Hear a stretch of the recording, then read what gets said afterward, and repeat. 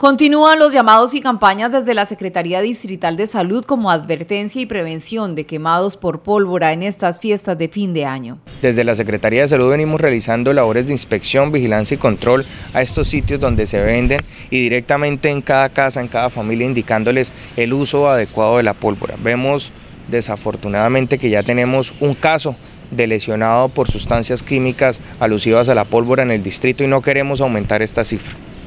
Además de esta campaña de prevención y de los llamados de atención a la ciudadanía por el uso responsable de estos elementos, también se advierte sobre el riesgo de la época por posible ingesta de licor adulterado, situación que también deja graves lesiones en sus víctimas. Hemos eh, empezado desde el mes de noviembre una campaña de inspección, vigilancia y control a todos los establecimientos que expenden licor en el distrito. ¿sí? Hemos ya realizado más de 40 muestras que han sido analizadas en el Laboratorio Departamental de Salud Pública, la gran mayoría con resultado satisfactorio. Tenemos unas todavía que, no nos han dado respuesta o no nos han dado resultado.